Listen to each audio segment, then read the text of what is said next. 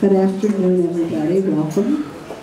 My name is Carol Marchand, and along with Pat and Anita and Linda, we are going to sing a song that was made famous by the Andrew sisters. McGuire sisters, oh my gosh, sorry, the McGuire sisters, sometime in the 1950s.